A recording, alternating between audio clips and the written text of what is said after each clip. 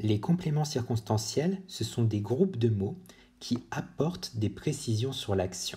Contrairement aux compléments d'objets directs et indirects, on peut les déplacer et on peut aussi les supprimer.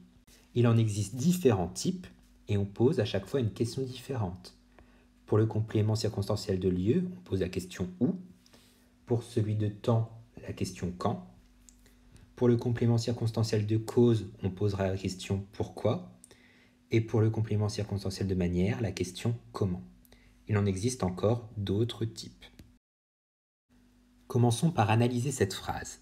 Ce matin, dans sa cuisine, Elisa mange des tartines avec appétit parce qu'elle a faim. On commence par chercher le verbe, l'action. Ici, c'est mange.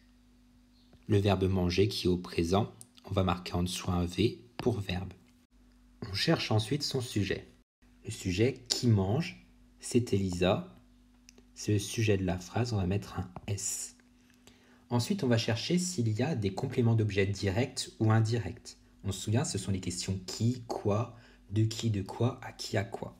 Ici, on en a un. Elisa mange quoi? Elle mange des tartines.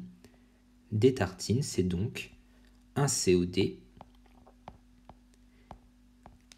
On n'a pas d'autres compléments d'objets directs ou indirects, donc on peut maintenant chercher les compléments circonstanciels. On va par exemple se poser la question quand? Quand Elisa mange des tartines? Eh bien, elle mange des tartines ce matin. C'est un complément circonstanciel de temps. On peut aussi se poser la question où? Où Elisa mange des tartines? Elle mange des tartines dans sa cuisine. C'est un complément circonstanciel de lieu. Il nous reste encore des termes dans la phrase, donc il y a encore des compléments circonstanciels.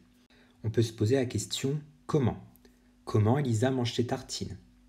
Elle les mange avec appétit, c'est la manière à laquelle elle les mange. Donc c'est un complément circonstanciel de manière. Et enfin, pourquoi mange-t-elle des tartines? Parce qu'elle a faim. Et le groupe parce qu'elle a faim va être le complément circonstanciel de cause.